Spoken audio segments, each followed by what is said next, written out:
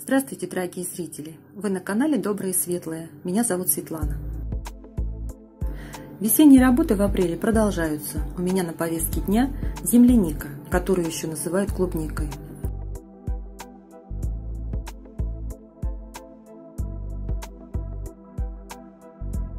После таяния снега, когда земля просохнет, необходимо удалить сухие листья и те, на которых коричневые пятна,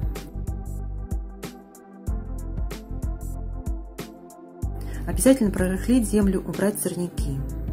Коричневые пятна – это необычные сухие старые листья, а бурая пятнистость или кладоспориоз, который поражает томаты, щавель, землянику. Такая инфекция влияет на сам урожай. С появлением молодых листочков она переходит на них, листочки начинают темнеть, сохнуть и кустик не развивается. Поэтому урожай мы можем совсем потерять.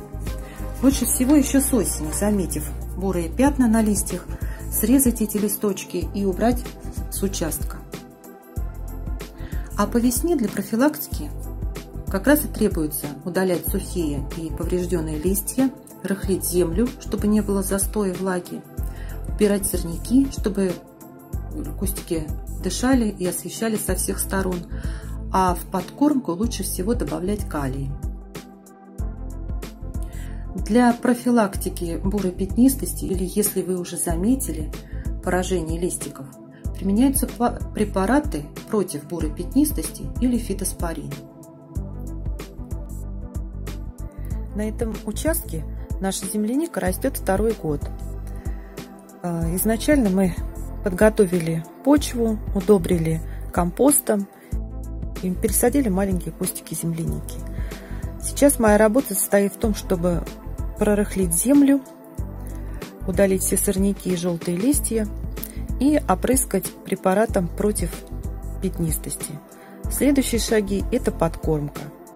Лучше всего подкармливать землянику фосфорно-калийными удобрениями, например, монофосфат калия.